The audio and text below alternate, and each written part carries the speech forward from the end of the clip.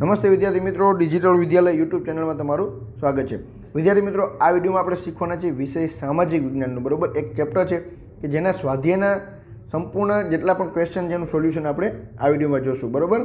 અગાઉ આપણે ચેપ્ટર બે સુધી જોઈ ગયા હતા અને આજે આપણે શીખશું ચેપ્ટર ત્રણ, ભારતનો સાંસ્કૃતિક વારસો, શિલ્પ અને સ્થાપત્ય. બરાબર? અગાઉના બે વીડિયો ન જોયો તો પહેલાં જોઈ લેજો. તમે બુક બનાવતો તો બુકમાં લખી લેજો અને ખાલી સાંભળીને યાદ રાખતા હો તો એ પણ તમે કરી લેજો. બરોબર? શરૂઆત કરીએ આપણે ક્વેશ્ચન એકથી કે નીચેના પ્રશ્નોના સવિસ્તર ઉત્તર આપો. એમાં તમને પ્રથમ પ્રશ્ન આપેલો છે કે પ્રાચીન ભારતનું નગર આયોજન સમજાવો. બહુ મોસ્ટ ટાઈમ ક્વેશ્ચન છે. ઘણી બધી એક્ઝામમાં તમે જોયો પણ હશે અને પૂછાશે પણ હજીની પરીક્ષાઓમાં. બરાબર? પ્રાચીન ભારતના નગરોના કેટલા પ્રકાર હતા? તો મુખ્ય ત્રણ પ્રકાર હતા. બરાબર? એમાં પ્રથમ આવશે શાસક અધિકારીઓનો ગઢ, ત્યાર પછી આવશે અન્ય અધિકારીઓનો આવાસો ધરાવતું ઉપલું નગર અને સામાન્ય નગરજનોના આવાસ ધરાવતું નીચલું નગર. બરાબર? ત્રણ ભાગમાં છે એ નગર. આખે આખું વિકાસ પામેલું હતું. પ્રાચીન ભારતના નગરોની વિશેષતાઓ શું હતી? તો કે શાસક અધિકારીઓનો ગઢ છે એ ઊંચાઈ ઉપર બાંધવામાં આવેલો હતો. અન્ય અધિકારીઓના ઉપલા નગરને રક્ષણાત્મક દિવાલોથી સુરક્ષિત બનાવેલું હોય છે. આ નગરમાંથી બે પાંચ ઓરડાવાળા મકાનો પણ મળી આવ્યા છે, બરાબર? સામાન્ય નગરજનોના નીચલા નગરના મકાનો મુખ્યત્વે હાથે ઘડેલી ઈંટોથી બનાવેલા હોય છે. એટલે આમાં કઈ રીતના જે વચ્ચેના ભાગમાં જે હોય એ મુખ્ય જે લોકો રાજા છે એ બધીની મકાન જે હતા, બરાબર? ત્યાર પછીનું જે આખો વિસ્તાર આવતો, એમાં બધા અધિકારીઓને એ બધા રહેતા. અને છેલ્લે જે હાવ છેવાડાના ભાગમાં તો એ બધા કોણ તો કે સામાન્ય નગરજનો છે, રહેતા. એવી રીતના ત્રણ ભાગમાં નગરને બનાવેલું હતું. ત્યાર પછી આપણે આગળ જોઈએ. બીજો ક્વેશ્ચન છે કે મોહેજો દળોની નગર રચનાઓ, રસ્તાઓ અને ગટર યોજના વિશે માહિતી આપો. આ સવાલ પણ મોસ્ટ ટાઈમ બી છે. ઘણી બધી એક્ઝામમાં પૂછાણો છે અને હજી પણ પૂછાશે. એટલે ખાસ આવા સવાલ છે એ પાકા કરી લેવાના. વારે વારે એક્ઝામમાં પૂછાતા હોય એની એક વખત નજર મારી લેવી, જેથી કરી જ્યારે પણ એક્ઝામમાં પૂછાય, તો આપણે વ્યવસ્થિત અને સારા માર્ક્સ એ ક્વેશ્ચનમાં આપણે લઈ શકીએ. તો મોહેંજો દળો નગરના રસ્તાઓ છે, એ નાના રસ્તાઓ, મોટા રસ્તાઓને કાટખૂણે મળતા હતા, બરાબર? આવી રીતના. મોટા શહેર હોય, તમે જોયા હશે, કાટખૂણે. ગાંધીનગરની જે રચના છે, એ રચના કેવી છે? તો કે કાટખૂણે બધા રસ્તાઓ છે, એકબીજાને મળતા હતા. અને એકથી વધારે વાહનો પસાર થઈ શકે તેટલા તે પહોળા હતા. અહીંના રસ્તાઓ મોટાભાગે નવ પોઈન્ટ પિચોતેર મીટર જેટલા પહોળા હતા. કેટલા પહોળા હતા? તો કે નવ પોઈન્ટ પિચોતેર મીટર જેટલા પહોળા હતા. રાજમાર્ગો પહોળા અને સીધા હતા. તેમાં ક્યાંય વળાંક આવતા નહીં. જે મેઇન રસ્તા હોય એ કેવા હોય તો કે પહોળા હોય અને સીધા હોય. એમાં ખોટા વળાંક હોય નહીં. મોહેજો દળોના દરેક મકાનમાં ખાડકુવા હતા. તે નાની ગટર દ્વારા શહેરની મોટી ગટર સાથે જોડાયેલા હતા. આજના સમયમાં પણ જે રીતના આ ગટર યોજના છે, એ એ વખતમાં, મોહેજો દળો વખતમાં એ રીતની જ ગટર વ્યવસ્થા હતી. બરાબર? ગટરો ઉપર અમુક અંતરે પથ્થરના ઢાંકણા હતા. આ ઢાંકણાઓ ખોલીને ગટરો અવારનવાર સાફ કરવામાં આવતી. સેમ એઝ આપણે જે અત્યારની પોઝિશનમાં આપણે જે ગટરો જોઈએ છીએ, એવી ગટરો મોહેજો આજથી ઘણા બધા વર્ષો પહેલાં એ લોકોએ આવી બનાવેલી હતી. ગટરોની આ સુંદર રચના શહેરના લોકોની આરોગ્ય અને સ્વચ્છતા જાળવવાની દ્રષ્ટિએ ઉત્તમ નમૂનો હતો. મોહેંજોદડોની ગટર યોજના એ હડપ્ય સંસ્કૃતિ નગર આયોજનની આગવી વિશેષતાઓમાંની એક હતી. પ્રાચીન સમયમાં આ ગટર યોજના જેવી ગટર યોજના ભૂમધ્ય સમુદ્રમાં આવેલા ક્રેટ ટાપુ સિવાય ક્યાંય નહોતી. નગરમાંથી ગંદા પાણીના નિકાલ માટે ગટર બનાવવામાં આવી હતી. રસ્તાઓની બાજુમાં ચોક્કસ અંતરે આવેલા એક સરખા ખાડા રાત્રિ પ્રકાશ માટે વપરાતા થાંભલાઓનું અનુમાન મનાય છે. બરાબર? અત્યારે તો જ્યારે અહીંયા ખોદકામ ને એવું બધું કરે, હવે તો એના અવશેષો મળે છે. તો અમુક અમુક અંતરે ખાડાઓ છે જોવા મળે છે. તો એના ઉપરથી આપણે આશરો લગાવી શકીએ કે ત્યારે અહીંયા લાઇટના થાંભલાઓ આવી રીતના ગોઠવેલા હોવા જોઈએ. બરાબર? ખરેખર મોહેજોદડોના રસ્તાઓ આધુનિક ઢબના અને સુવિધાવાળા હતા. બરાબર? આ રીતના તમે વ્યવસ્થિત જવાબ લખો એટલે પૂરા માર્ક તમને આમાં મળી શકે. ત્યાર પછી આપણે આગળ વાત કરીએ ક્વેશ્ચન ત્રણની કે ગુજરાતની ગુફાઓ વિશે માહિતી આપો. ગુજરાતમાં ઘણી બધી જગ્યાઓથી ગુફાઓ મળેલી છે. તો એના વિશે આપણે સંપૂર્ણ માહિતી લઈ લઈએ. પછી તમારે આ ક્વેશ્ચનમાં કઈ રીતના? જો આ ગુફાઓ વિશે માહિતી તમને આપી દીધી, હવે તમને એક માર્ક્સમાં સવાલ પૂછાય છે, બે માર્ક્સમાં પૂછાય છે, કોઈ પર્ટિક્યુલર એક નામની ગુફા પૂછેલી છે, તો એના વિશે તમારે લખવાનું થશે. અહીંયા આપણે બધી ગુફાઓનું વિસ્તૃતમાં આપણે માહિતી લઈ લઈ તમારી એક્ઝામમાં જે કાંઈ પણ ગુફા પૂછાય, જેટલા માર્ક્સનો સવાલ પૂછાય, એ રીતના તમારે જવાબ લખવાનો થશે. ગુજરાતમાં નીચેની ગુફાઓ છે જેમાંથી એક ઢાંકની ગુફાઓ. તો કે આ ગુફાઓ રાજકોટ જિલ્લાના ઉપલેટા તાલુકાના ઢાંક ગામમાં ઢાંકગીરી નામના પર્વત પર આવેલી છે. તે ચોથી સદીની પૂર્વાધનું હોવાનું જણાય છે. જો ઢાંક ઉપર ઢાંક ગામ છે, એના ઉપરથી ઢાંકની ગુફાઓ તરીકે ઓળખાય છે. ક્યાં આવે તો કે રાજકોટ જિલ્લાના ઉપલેટા તાલુકામાં. બરોબર? ત્યાર પછી છે જૂનાગઢની ગુફાઓ. તો કે જૂનાગઢમાં આ ત્રણ ગુફા સમૂહ આવેલા છે. કોણ કોણ? તો કે બાવા પિયારાનો ગુફા સમૂહ. આ ગુફાઓ બાવા પિયારાના મઠ પાસે આવેલી છે. તે ત્રણ હરોળમાં પથરાયેલ છે. તેમજ એકબીજા સાથે કાટખૂણે જોડાયેલી છે. પહેલી હરોળમાં ચાર, બીજી હરોળમાં સાત અને ત્રીજી હરોળમાં પાંચ. એમ કુલ કેટલી છે? તો કે સોળ ગુફાઓ આવેલી છે. ત્યાર પછી આવશે ઉપરકોટની ગુફાઓ. જે મિત્રો ગયા હશે, ત્યાં ખ્યાલ જ હશે. નીચેના ભાગમાં પગથિયામાંથી તમે જાઓ ને એટલે ગુફાઓ તમને ત્યાં જોવા મળે છે. આ ગુફાઓ છે બે માળની છે. ઉપરના માળ પર જવા માટે પગથિયા છે. તે ઈસવીસન બીજી સદીની ઉત્તરાર્ધથી ચોથી સદીના પૂર્વાર્ધ સુધી કંડારાયેલી હોવાનું જણાય છે, બરાબર? ત્યાર પછી આવશે ખાપરા કોડિયાની ગુફાઓ અને કુંડ ઉપરની ગુફાઓ. તો કે આ ગુફાઓ છે ખંડેર હાલતમાં છે. અહીંથી મળેલા અવશેષો પરથી જણાય છે કે મજલાવાળી હશે, એટલે કે માળવાળી હશે, બરાબર? એક, બે, ત્રણ માળ એમાં આવેલા હશે ને એ રીતના આખી ગુફાનું નિર્માણ થયેલું હશે. ત્યાર પછી આવશે કે ઝીંઝુરી ઝરની ગુફાઓ. તો કે ઢાંક ગામની પશ્ચિમે, સાત કિલોમીટર દૂર સિત્સર પાસેની ઝીંઝુરી ઝરની ખીણમાં કેટલીક બૌદ્ધ ગુફાઓ આવેલી છે.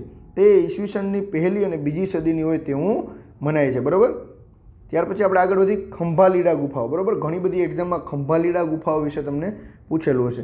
તો કે રાજકોટથી સિત્તેર કિલોમીટર દૂર ગોંડલ પાસે ખંભાલીડામાં આવેલી છે. તે ઈસવીસન ઓગણીસો ઓગણસાઠમાં શોધાઈ હતી. તેમાં ત્રણ ગુફાઓ, સ્તૂપવાળો ચૈત્યગૃહ ગુફાના પ્રવેશ માર્ગોની બંને બાજુએ વૃક્ષને આશ્રય ઉભેલા બોધિસત્વ અને કેટલાક ઉપાસકોની મોટી આકૃતિઓ. આ બધા સ્થાપત્યો ઈસવીસન બીજી સદીના હોય તેવું મનાય છે. ત્યાર પછી આવશે કચ્છની ખાપરા કોડિયાની ગુફાઓ. આ ગુફાઓ કચ્છના લખપત તાલુકાના જૂના પાટગઢ પાસેના પહાડમાં બે ગુફાઓ આવેલી છે. ઈસવીસન ઓગણીસો ને સડસઠમાં શ્રી કેકા શાસ્ત્રી આ ગુફાઓ શોધી કાઢી હતી. આ બધા કોણ છે? તો આર્કિયોલોજિસ્ટ છે, બરાબર? કેશવરામ કાશીરામ શાસ્ત્રી, એનું પૂરું નામ થાય એ બધા આર્કિયોલોજિસ્ટ છે, જે શોધખોળ કરી રહ્યા છે કે અહીંયા વર્ષો પહેલાં કેવી રચનાઓ બધી હતી અને જે અવશેષો મળે તેના આધારે નક્કી કરે કે કેટલી જૂની ગુફા છે, કે આ પથ્થર છે, કેટલો જૂનો છે. ત્યાં જેટલા પણ અવશેષ મળે તેના ઉપર સંશોધન કરે અને જેથી કરી ખ્યાલ આવે કે અહીંયા કેટલા વર્ષો પહેલાં માનવ વસવાટ કરી રહ્યા હતા. ત્યાર પછી આવશે તળાજાની ગુફાઓ. તો તળાજા આવેલા આપણે બધાને ખ્યાલ જ છે કે ભાવનગરનો તાલુકો છે. તો કે ભાવનગર જિલ્લામાં શેત્રુંજી નદીના મુખ પાસે તળાજાનો ડુંગર આવેલ છે. તે તાલ ધ્વજગીરી તીર્થધામ તરીકે પ્રખ્યાત છે. કઈ?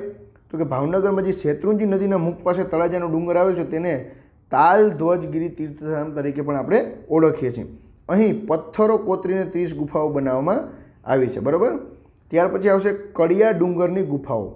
એમાં શું આવશે? તો કે ભરૂચ જિલ્લાના ઝઘડિયા તાલુકામાં કડિયા ડુંગર ઉપર ત્રણ ગુફાઓ આવેલી છે. તે બૌદ્ધ ધર્મની પ્રાચીન સ્થાપત્ય કલાના ઉત્તમ નમૂના ગણાય છે. અહીં એક જ પથ્થરમાંથી કંડાયેલો અગિયાર ફૂટ ઊંચો એક સિંહસ્તંભ પણ આવેલો છે. બરાબર? આ રીતના તમારી કડિયા, ડુંગર, ગુફા પૂછાય તો એના આધારે તમારે એક બે માર્ક્સનો સવાલ પૂછાણો તો આટલી બધી વસ્તુ છે એમાં લખવાની થશે. બરાબર? ત્યાર પછી છેલ્લી છે કે સાણા ગુફાઓ. તો કે આ ગુફાઓ ગીર સોમનાથ જિલ્લાના ઉના તાલુકાના વાક્યા ગામ પાસે રૂપેણ નદી ઉપર સાણા ડુંગર પર આવેલી છે. અહીં મધપુડાની જેમ બાસઠ જેટલી ગુફાઓ છે પથરાયેલી છે, બરાબર? તો આ દરેક ગુફાની આપણે વાત કરી લીધી. એક પ્રશ્ન ગુફા વિશે પૂછો તો આ બધી ગુફા લખવી તમારે જરૂર નથી. પ્રશ્નનો માર્ક કેટલા છે એના આધારે તમારે લખવાની. મેન મેન ગુફા અને એના મેન મેન પોઈન્ટ છે, ક્યાં આવેલી છે, એની વિશેષતા શું છે, એ બધી વસ્તુ તમારે આમાં લખવાની થાય, બરાબર? અહીં આપણે પ્રશ્ન છે એ આખો લઈ લી, જેથી કરી તમારે આડાવડા કોઈ પણ સવાલ પૂછાતા હોય તો તમને ઇઝી પડે.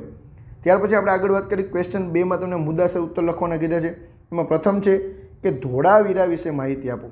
આ પણ મોસ્ટ ટાઈમ છે મિત્રો ઘણી બધી એક્ઝામમાં પૂછાયેલું છે અને હજી પણ પૂછાશે.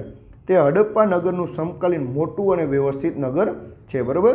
ત્યાર પછી ઈસવીસન ઓગણીસો ને નેવુંમાં પુરાતત્વવિદ રવિન્દ્રસિંહ બિસ્ટના માર્ગદર્શન હેઠળ અહીં વિશેષ ખોદકામ કરવામાં આવ્યું હતું.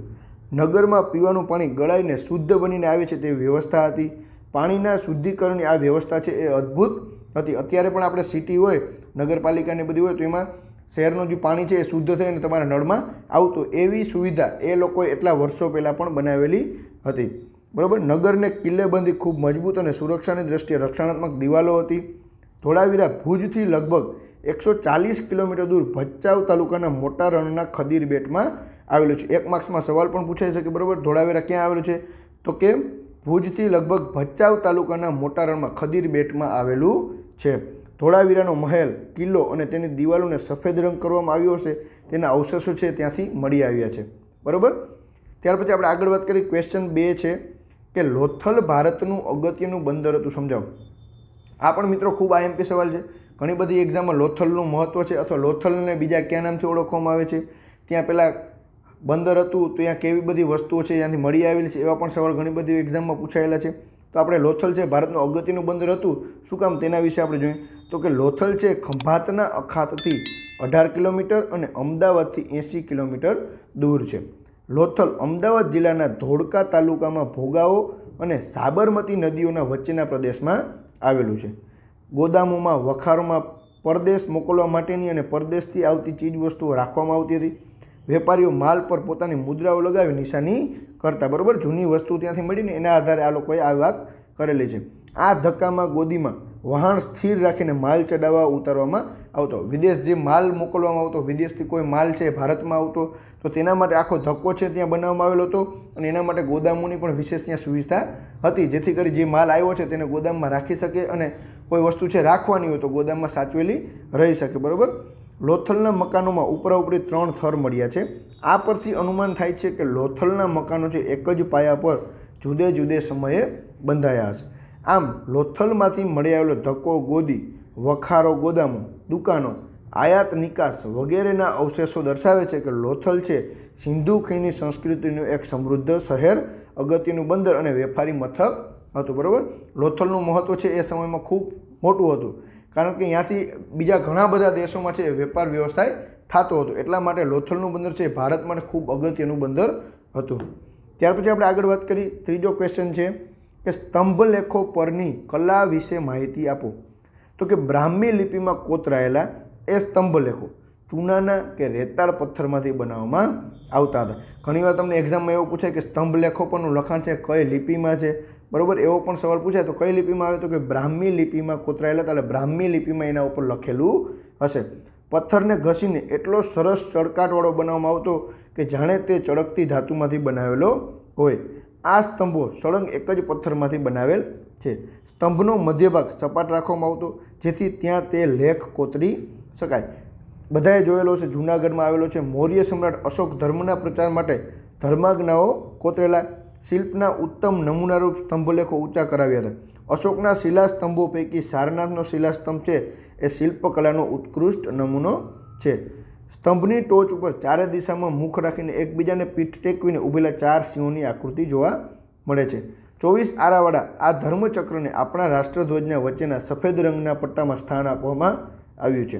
તેમજ ચાર સિંહોની આકૃતિને ભારતના રાષ્ટ્રીય પ્રતીક તરીકે પણ સ્વીકારવામાં આવે છે. સમ્રાટ અશોકના સ્તંભલેખો અંબાલા, મેરઠ, અલ્હાબાદ, સાંચી, કાશી, પટના, બુદ્ધગયા વગેરે સ્થળોના સ્તંભો છે એ મુખ્ય આવેલા છે. બરાબર? શિલાલેખ છે, અશોકનો શિલાલેખ આપણે જુનાગઢ ગયા હોય તો ત્યાં આપણે જોયેલો પણ હોય. એવી રીતના સ્તંભ ઉપર લખાણ કરવામાં આવતું, એવી રીતના શિલા પર પણ લખાણ કરવામાં આવતું, બરાબર? એને શિલાલેખ કહેવાય સ્તંભ ઉપર લખાણ કર્યું, એને શું કહેવાય તો કે સ્તંભલેખ તરીકે આપણે ઓળખીએ છીએ. ત્યાર પછી આગળ વાત કરી ચોથો સવાલ છે કે મોઢેરાના સૂર્ય મંદિર વિશે નોંધ લખો. હવે આપણે દરેક વિદ્યાર્થીને આ સવાલ તો આવડતો જોઈએ કે તે ઈસવીસન એક હજાર છવ્વીસમાં ભીમદેવ સોલંકી પ્રથમના શાસનકાળ દરમિયાન બાંધવામાં આવ્યું હતું. કોના શાસનકાળમાં બંધાવેલું હતું? તો કે ઈસવીસન એક હજાર છવ્વીસમાં ભીમદેવ સોલંકી પ્રથમના શાસનકાળ દરમિયાન બાંધવામાં આવેલું હતું. બરાબર? આ મંદિરનું પ્રવેશદ્વાર છે કઈ દિશામાં છે? તો કે પૂર્વ દિશામાં છે. તેથી વહેલી સવારે સૂર્ય ઉગે ત્યારે તેના કિરણો સીધા ગર્ભગૃહમાં પ્રવેશીને સૂર્ય પ્રતિમાના મુગટની મધ્યમાં રહેલ મણિ પર પડતા સમગ્ર મંદિર પ્રકાશપુંજથી ઝળહળી ઉઠે છે. મોઢેરાનું સૂર્ય મંદિર ઉત્તર ગુજરાતના મહેસાણા જિલ્લાના મોઢેરા ખાતે આવેલું છે. બરાબર? ક્યાં આવેલું છે? તો કે મહેસાણામાં આવેલું છે. કઈ જગ્યાએ? તો કે ઉત્તર ગુજરાતના મહેસાણા જિલ્લાનું મોઢેરા. બરાબર? ત્યાં આ મંદિર છે આવેલું છે. આ મંદિરનું નકશીકામ ઈરાની શૈલીમાં થયેલું છે. મોસ્ટ ટાઈમપી ઘણીવાર પૂછાય કે મોઢેરાનું સૂર્ય મંદિર છે. કઈ શૈલીમાં બનાવેલું છે? તો કે ઈરાની શૈલીમાં એનું નકશીકામ છે એ બનાવેલું છે. બરાબર? ત્યાર પછી છે કે આ મંદિરના ગર્ભગૃહની બહાર સૂર્યની બાર વિવિધ મૂર્તિઓ છે અંકિત થયેલી. આજે પણ જોઈ શકાય છે. સૂર્ય મંદિરની આગળના ભાગમાં લંબચોરસ આકારનો વિશાળ જળકુંડ છે. આ કુંડની ચારે દિશાએ નાના નાના કુલ એકસો આઠ મંદિરો આવેલા છે. તેમાં સવાર સાંજ પ્રગટાવવામાં આવતી દીપમાલાને લીધે નયનરમ્ય દ્રશ્ય સર્જાય છે. બરાબર? બહુ ગુજરાતનું કહેવાય ને કે સારામાં સારું સ્થળ છે. જેને પણ મોકો મળે મોઢેરાની એક વખત વિઝિટ જરૂર કરજો. જેથી કરી તમને ઇતિહાસ સાથે જો લગાવ હશે ને તો તમને એ વસ્તુ જોવાની પણ મજા આવશે. ત્યાંની જે બધી ઐતિહાસિક વસ્તુ છે એ જોશો એટલે તમને થોડુંક આનંદ પણ થશે. બરાબર? આ મોઢેરા તમે જાઓ તો સૂર્ય મંદિરની મુલાકાત છે, ખાસ તમારે લેવાની ભૂલવાની નથી. ત્યાર પછી આપણે આગળ વધી ક્વેશ્ચન તનમાં તમને નાના નાના સવાલ પૂછેલા છે, જેમાં છે મોસ્ટ ટાઈમ બી કહી શકાય, એક એક માર્ક્સમાં તમને બહુ કામ આવે એવા સવાલ છે. શિલ્પ એટલે શું? તો કે કુશળ શિલ્પી પોતાના મનમાં જાગતા વિવિધ ભાવોને છીણી હથોડી વડે પથ્થર, લાકડું કે ધાતુને કંડારીને જે આકાર તૈયાર કરે તેને શિલ્પ કહેવામાં આવે છે. બરાબર? ત્યાર પછી છે, સ્થાપત્ય એટલે શું? તો કે મકાનો, નગરો, કૂવાઓ, કિલ્લાઓ, મિનારા, મંદિરો, મકબરાઓ, સ્મારકો, સ્તંભો વગેરેના બાંધકામને સ્થાપત્ય તરીકે આપણે ઓળખીએ છીએ. બરાબર? એક એક માર્ક્સમાં તમને આવી વ્યાખ્યાઓ છે પૂછાઈ શકે મિત્રો. ખાસ પાકી કરી લેવાની. ત્યાર પછી છે, ત્રીજો સવાલ કે મોહેજો દળોનો અર્થ સમજાવી તેના રસ્તાની માહિતી આપો. જો મોહેજો દળોનો અર્થ શું થાય? તો કે મોહેજો દળોનો અર્થ થાય છે મરેલાઓનો ટેકરો. એવો થાય છે. નાના રસ્તાઓ, મોટા રસ્તાઓને કાટખૂણે મળતા હતા. અને એકથી વધારે વાહનો પસાર થઈ શકે એટલા તે પહોળા હતા. અહીંના રસ્તાઓ મોટે ભાગે નવ પોઈન્ટ પિચોતેર મીટર જેટલા પહોળા હતા, બરાબર? ત્યાર પછી છે સ્તૂપની સમજૂતી આપો. સ્તૂપ કોને કહે? મોસ્ટ ટાઈમ સવાલ આ એક્ઝામમાં કદાચ આ સવાલ છે, તમને પૂછાઈ શકે. સ્તૂપ એટલે ભગવાન બુદ્ધના વાળ, દાંત, અસ્થિ, રાખ વગેરે શરીરના અવશેષોનો એક પાત્રમાં મૂકી તેના ઉપર બાંધવાની અર્ધગોળાકાર ઇમારત. શું કરે? બુદ્ધ ભગવાનના જેટલા પણ આ અવશેષ મળે. જેમ કે દાંત છે, અસ્થિ છે, રાખ, કોઈ પણ વસ્તુ એને એક દાબડીમાં પેક કરી અને રાખે અને એના ઉપર કેવું બનાવે તો અર્ધ ગોળાકાર એક ઇમારત બનાવે તેને આપણે સ્તૂપ તરીકે ઓળખીએ છીએ. બરાબર? તમારી ટેક્સ્ટ બુક છે, તેમાં તમને ફોટો પણ આપેલો છે, જેથી કરી તમને વધુ ખ્યાલ આવી શકે. ત્યાર પછી આપણે આગળ વધી ક્વેશ્ચન ચારમાં તમને વિકલ્પ પૂછેલા છે. એમાં પ્રથમ સવાલ છે કે સંસ્કૃત ભાષામાં સ્થાપત્ય માટે બીજો કયો શબ્દ વપરાય છે? તો આપણે બધાને ખ્યાલ છે, આપણે નવું ઘર બનાવ્યું ત્યારે આ શબ્દ છે, આપણે વાપરતા જોઈએ છીએ. કયો તો કે વાસ્તુ, બરાબર? સંસ્કૃત ભાષામાં સ્થાપત્ય માટે વાસ્તુ શબ્દ છે વપરાયેલો છે. ત્યાર પછી છે બીજો સવાલ કે લોથલમાં વહાણ લાંગરવા માટે શું બાંધવામાં આવતું હતું? તો કે ધક્કો બાંધવામાં આવતો હતો, બરાબર? ત્યાર પછી ત્રીજો છે કે સ્તંભ લેખો કઈ લિપિમાં કોતરાયેલા છે? આપણે અગાઉ હમણાં જ વાત કરેલી હતી કે સ્તંભ લેખો છે એ બ્રાહ્મી લિપિમાં કોતરાયેલા છે, બરાબર? ત્યાર પછી આપણે આગળ જોઈએ ચોથો સવાલ છે કે ગુજરાતના ખાલી જગ્યા ખાતે સૂર્ય મંદિર આવેલું છે, તો ક્યાં આવેલું છે? તો કે મોઢેરા ખાતે સૂર્ય મંદિર આવેલું છે. ત્યાર પછી પાંચમો સવાલ, કે અમદાવાદમાં ત્રણ દરવાજાની નજીક કઈ મસ્જિદ આવેલી છે? કઈ મસ્જિદ આવેલી છે? તો કે જામા મસ્જિદ છે, એ ત્રણ દરવાજાની નજીક આવેલી છે. બરાબર મિત્રો? તો તમારું જે ત્રીજા ચેપ્ટર્સના જેટલા પણ સ્વાધ્યાયના સવાલ હતા, એને આપણે સંપૂર્ણ રીતે જોઈ ગયા. કોઈ પણ એકાદો સવાલ છૂટી ગયો અથવા તમારા મનમાં કાંઈ ડાઉટ હોય ખાસ કોમેન્ટ કરી દેજો, જેથી કરી આપણે ભવિષ્યમાં એનું સોલ્યુશન લાવી શકીએ. બરાબર, વિદ્યાર્થી મિત્રો, કાંઈ તમારા રિવ્યૂ હોય એક્ઝામ રિલેટેડ તો પણ કોમેન્ટ કરજો, જેથી કરી અમને પણ ખ્યાલ આવે કે કઈ વસ્તુમાં સુધારો કરવાની જરૂર છે અને વિદ્યાર્થીઓને કઈ વસ્તુની જરૂર છે. બરાબર કોમેન્ટ કરતા રહેશો તો અમને પણ ખબર પડશે અને તમને પણ મજા આવશે. બરાબર, વિદ્યાર્થી મિત્રો, ખાસ ચેનલને સબસ્ક્રાઈબ ન કરી તો સબસ્ક્રાઈબ કરી લેજો અને બાજુમાં રહેલો બે લાઇકન છે તેને પણ દબી દેજો. જેથી કરી જ્યારે પણ તમારા ધોરણના વિડીયોઝ મૂકાય તો તમને એની સીધી નોટિફિકેશન મળી જાય. આવજો વિદ્યાર્થી મિત્રો, જય હિન્દ, જય ભારત.